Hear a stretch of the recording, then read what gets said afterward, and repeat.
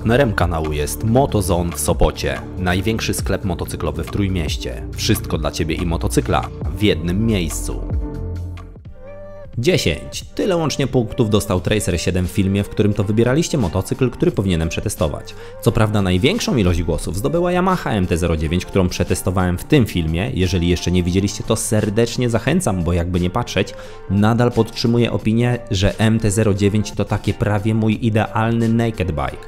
Ale wracając, Tracer 7 zdobył drugie miejsce w Waszych komentarzach.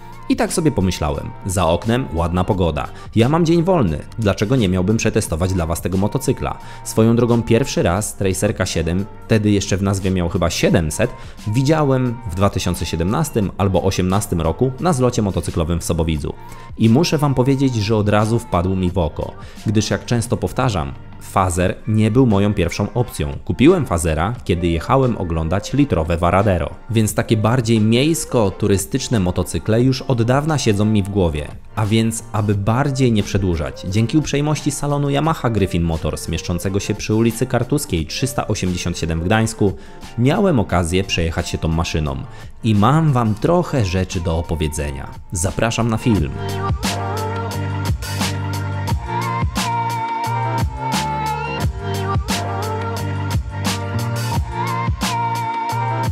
Zanim jeszcze zaczniemy, to poproszę Was, abyście zasubskrybowali kanał, kliknęli dzwoneczek i dali łapkę w górę pod filmem. Dla Was to dwie, może trzy sekundy, a dla mnie to jest naprawdę dużo. Jak wiecie, YouTube polega na tych wszystkich kliknięciach, łapkach w górę, komentarzach, więc jeśli choć trochę podoba Wam się mój kanał, to pomóżcie mi w jego rozwoju. A jeżeli coś jest nie tak, to napiszcie to w komentarzu. Na pewno przeczytam. Wygląd.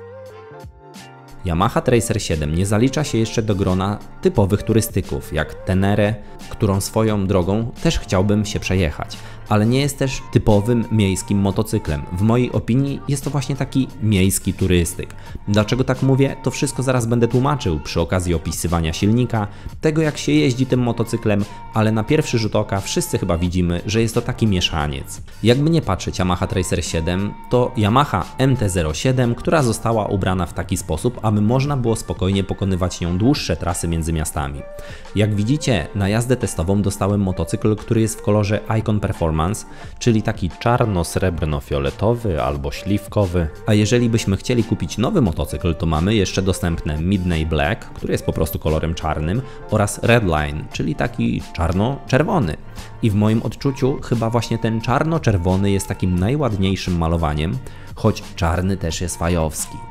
Tracer 7, czyli taka uturystyczniona MT-07, otrzymała całkiem duże owiewki boczne przy baku, duży przód, który jest jedną zespoloną całością z lampą oraz całkiem dużą szybę przednią, która ma możliwość regulacji w górę i w dół. Gdyby dla kogoś było to za mało, to można jeszcze dokupić akcesoryjną, wtedy jest jeszcze wyżej.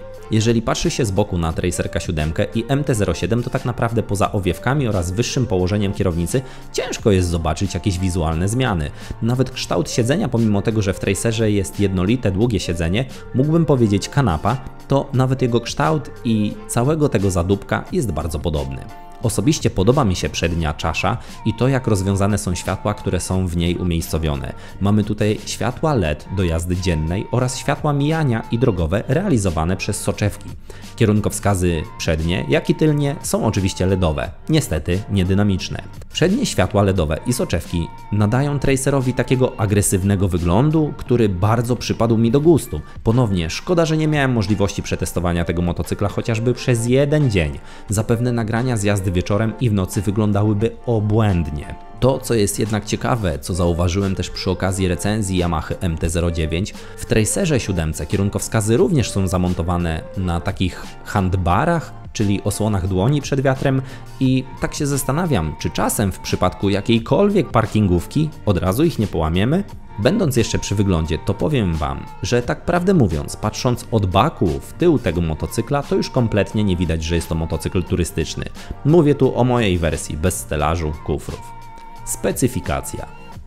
Czterosuwowy, dwucylindrowy, chłodzony cieczą DOHC czterozaworowy silnik, w który wyposażony jest Racer, ma pojemność 689 cm3. Udało się z niego wykrzesać 73,5 konia mechanicznego przy 8750 obrotach oraz 67 Nm momentu obrotowego przy 6500 obrotów na minutę. Szczerze powiedziawszy, to taka sama specyfikacja jest w Yamaszce MT-07. Sprzęgło jest mokre, wielotarczowe, skrzynia biegów ma 6 przełożeń, napęd realizowany jest przez łańcuch, a bak paliwa ma 17 litrów pojemności, gdzie w Yamaszce MT-07 ma tylko 14. Spalanie podane przez producenta to 4,3 litra na 100 km, a jeżeli spojrzymy sobie na Sprit Monitor, to widzimy, że użytkownicy podają spalanie w przedziale od 3,5 do 5 litrów. Spalanie średnie to 4,15. A więc rzadko to się zdarza, ale wychodzi na to, że spalanie rzeczywiste jest niższe niż podaje producent. Ja podczas swojej jazdy oscylowałem w granicach 5 litrów, ale nie oszukujmy się, moja jazda miała mało wspólnego z tym, jak rzeczywiście ten motocykl byłby wykorzystywany. Raczej chciałem zobaczyć, jak to przyspiesza, jak to hamuje, jak jest dynamiczny.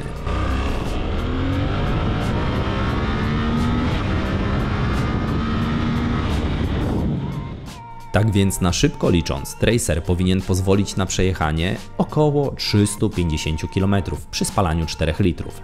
Jeżeli wypełnimy Tracera 3 litrami oleju, 17 litrami paliwa, to wciąż jego waga nie przekroczy 200 kg i będzie wynosiła 197 kg.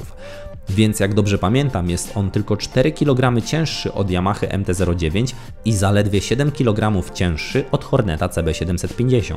A jakby nie patrzeć, mówimy tu o motocyklu, który jest już z owiewkami, tak więc jest to naprawdę dobra waga. To, co jednak zauważyłem, to to, że trudniej się go prowadzi, ale nie podczas jazdy, a jak się go gdzieś przepycha. MT-09 mimo wagi bardzo zbliżonej było dużo lżejsze w takim odczuciu, ale to zapewne kwestia też wyżej położonego środka ciężkości. Na przednim kole założona jest opona o wymiarach 120-70 na 17. Za hamowanie odpowiadają dwie tarcze o średnicy 298 mm i hamulec hydrauliczny dwutłoczkowy. Natomiast tylna opona ma wymiar 180 na 55 na 17 i jest tam zamontowana jedna tarcza o średnicy 245 mm. Można by powiedzieć, że taki standardowy zestaw. Układ przedniego zawieszenia to widelec teleskopowy z goleniami o średnicy 41 mm, natomiast tylne zawieszenie to amortyzator. Zarówno przód, jak i tył posiadają regulację napięcia wstępnego i tłumienia odbicia. Tak więc w razie potrzeby można dopasować ich działanie pod swój styl jazdy. W odróżnieniu od Yamaha MT-09 w tracerku nie uświadczymy za dużo elektroniki, nie będziemy mieli tempomatu, nie wybierzemy sobie trybów jazdy, brak w nim IMU. Nie zmienia to jednak faktu, że wyświetlacz jest czytelny, przejrzysty oraz konfigurowalny.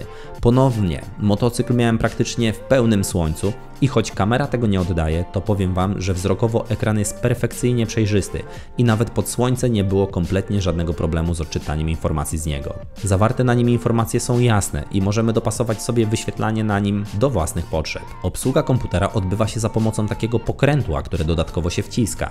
Niestety muszę przyznać, że nie jestem fanem tego rozwiązania i osobiście wolałbym mały joystick gdyż to pokrętło nie dość, że jest dosyć daleko od manetki, co w moim przypadku utrudniało jego obsługę, to jeszcze ten przycisk, który jest w nim, chodził dosyć ciężko. Niemniej jednak, jak to w tej klasie motocykla bywa, pięciocalowy kolorowy wyświetlacz z dwoma motywami do wyboru pozwala na parowanie go za smartfonem, gdzie przy użyciu aplikacji MyRide będziemy mieli różnego rodzaju powiadomienia i wiadomości oraz szczegółowe parametry pracy silnika.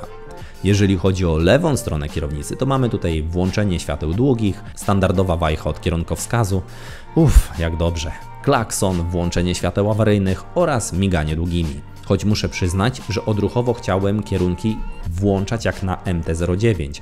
A to dziwne, bo przyjechałem do Yamahy fazerem, gdzie mam standardowy przełącznik. Z prawej strony kierownicy mamy tylko przycisk do odpalania motocykla oraz pokrętło do obsługi menu. Jak już wspomniałem wcześniej, owiewka, która jest zamontowana z przodu jest regulowana w górę i w dół. To bardzo fajna opcja. Możemy zamontować tutaj również akcesoryjną, która jest o wiele większa, ale już ta dawała radę. Co więcej, jej obsługa nie wymaga odkręcania żadnych śrub. Wystarczy jedna ręka i 3 sekundy. Wrażenia z jazdy. Zacznijmy od tego, że pozycja za kierownicą jest prosta, wyprostowana powinienem powiedzieć.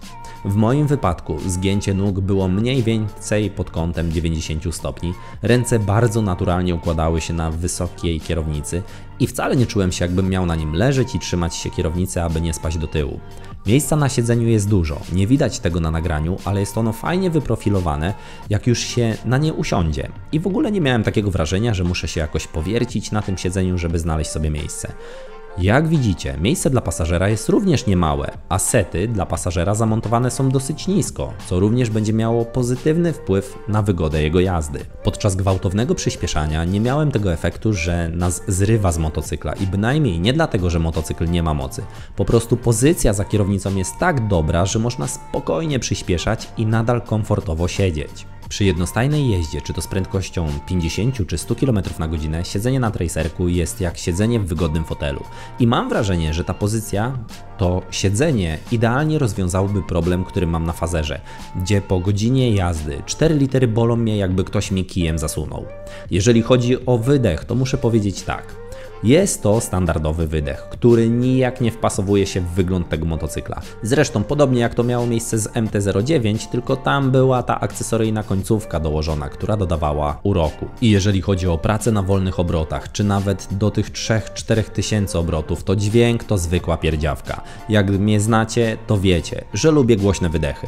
Dopiero kiedy obroty zaczynają wędrować w górę od tych 6-7 tysięcy zaczyna się wydobywać coś lepszego z niego. Jednak biorąc pod uwagę możliwości możliwości, jakie daje silnik CP2, to zamontowanie tu jakiegoś Aroła, Miwa czy Xila musiałoby zrobić piorunującą robotę. Swoją drogą to taka moja sugestia do wszystkich dealerów, aby takie motocykle dawać na akcesoryjnych wydechach. Na pewno wrażenia z jazdy będą dużo lepsze. No dobrze, a jak brzmi wydech, to posłuchajcie sobie teraz.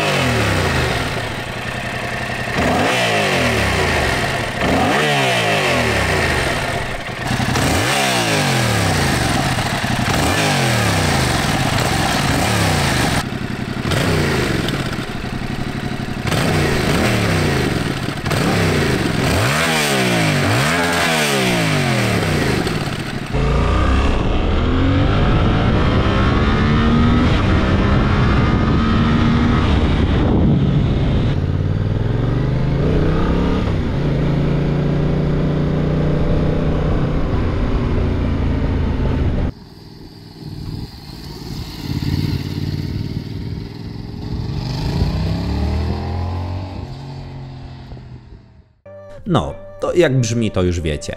Tak jak powiedziałem wcześniej, szkoda, że nie ma tu czegoś akcesoryjnego, choćby końcówki, albo że Yamaha nie robi takiego wydechu seryjnego jak ma Honda Hornet CB750.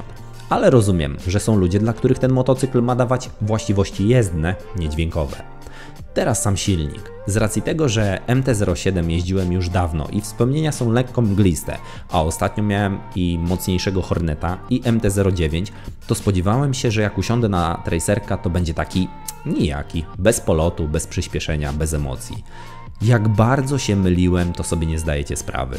Silnik CP2, ten silnik, który generuje zaledwie 74 konie mocy i 67 Nm, pracuje tak, jakby ktoś z batem stał za nim i pilnował, czy daje z siebie wszystko. Serio, Wspomnienia z MT-07 mam aktualnie takie, że trochę zamulony był ten motocykl, niby narwany naked bike, a jednak taki trochę bez emocji. Może też dlatego powiedziałem, że muszę się jeszcze MT-09 przejechać, aby zobaczyć, czy faktycznie te 74 konie to nie za mało. Swoją drogą, teraz chyba musiałbym się z powrotem MT-07 przejechać, żeby zobaczyć, czy te wspomnienia są prawdziwe. A w Tracerku jest wręcz odwrotnie. Odkręcanie manetki w zasadzie z każdego przedziału obrotowego na każdym biegu może nie wyrywa ramion z barków, ale czuć frajdę z tego przyspieszenia. Testowo wrzuciłem szósty bieg, 70 km na godzinę i dałem w palnik. Silnik miałem wrażenie się trochę męczy, ale prędkość 90 uzyskałem dosłownie po dwóch sekundach. Samo przyspieszenie od zera jest więcej niż wystarczające. W tyle zostawimy większość aut. Ogólnie sama praca jest bardzo fajna. Nie telepie, nie krztusi, bardzo przewidywalnie oddaje moc. Ogólnie jadąc na drugim i trzecim biegu można naprawdę fajnie pobawić się motocyklem. Co więcej, nawet jak na drugim biegu sobie poszalejemy, to nie ma tego gwałtownego hamowania silnikiem, jak się odpuści gaz, więc tym przyjemniej się bawi niskimi biegami.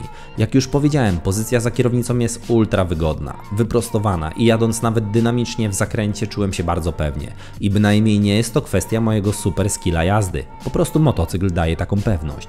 Opony bardzo fajnie trzymają się ziemi, zawieszenie nie dawało żadnych negatywnych komunikatów, a droga bywała różna, asfaltowa, ale różna. Jedyne, na co mógłbym zwrócić uwagę, to to, że jak wjechałem w jakąś dziurę, to miałem wrażenie, jakby zawieszenie było ustawione bardzo twardo. Ale to może moje takie odczucia. Hamulce działają poprawnie. Nie miałem co prawda żadnej kryzysowej sytuacji, ale hamulec przedni można obsługiwać jednym palcem i to pozwoli na sprawne zatrzymanie motocykla. Owiewka przednia, jak i te boczne całkiem dobrze niwelują pęd powietrza, który uderza normalnie w kierowcę.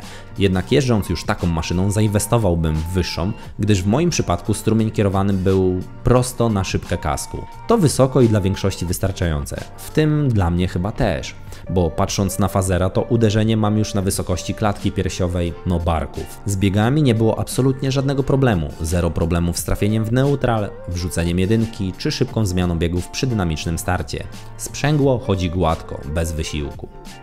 To, o czym warto jeszcze wspomnieć, to to, że po lewej stronie wyświetlacza mamy zamontowane gniazdo USB-A, a po prawej stronie wyświetlacza mamy gniazdo 12V, pod które możemy podpiąć sobie coś, co jest zasilane zapalniczką. Bardzo fajne rozwiązanie, ponieważ jest to zakryte gumowymi uszczelkami, więc nie ma obawy, że naleci tam woda. Podsumowanie.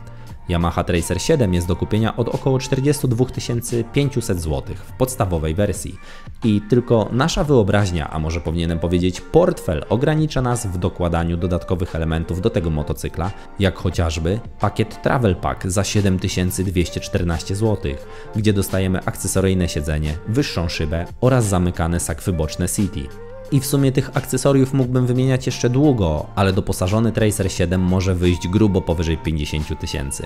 Niemniej jednak, za cenę 42 500 zł dostajemy ciekawy motocykl, który możemy od razu obłożyć swoimi sakwami, swoim stelażem i kufrem i zamkniemy się spokojnie w 1,5 do 2000 zł. Potem to już tylko ruszać w drogę. Oczywiście, Tracerka możemy kupić w wersji na prawo jazdy A2, gdzie moc jest ograniczona do 35 kW. To, co na pewno muszę muszę powiedzieć ze swojej strony to to, że ten tracer po części też skradł moje serce. Choć powinienem powiedzieć rozum, bo serce mówi, że to naked jest tym, czego potrzeba mi do szczęścia na motocyklu. Jednak rozum podpowiada, że taki tracerek jest bardziej uniwersalny i oprócz krążenia po mieście można się nim wypuścić w bardzo komfortowych warunkach poza miasto. Tracer 7 jest na pewno pozycją dla tych, którzy szukają takiej uniwersalności, czegoś pomiędzy zwinnym miejskim motocyklem a pełnym turystykiem.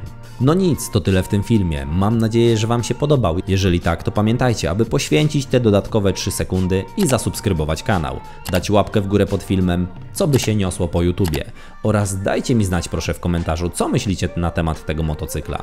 Czy mieliście okazję nim jeździć, a może macie takiego w garażu i możecie wrzucić jakiś link do filmu z jego prezentacją. Chętnie obejrzę. Ja już się z Wami żegnam, szerokości na drodze, na razie, cześć!